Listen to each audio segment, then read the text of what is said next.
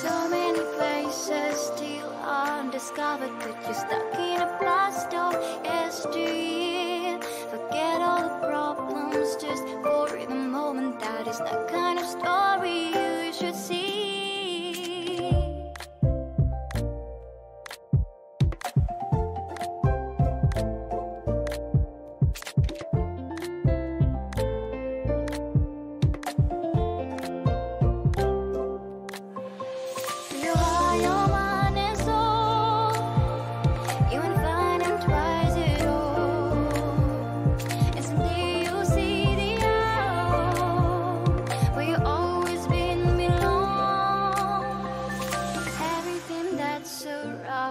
is a masterpiece. Just open the eyes of your own heart.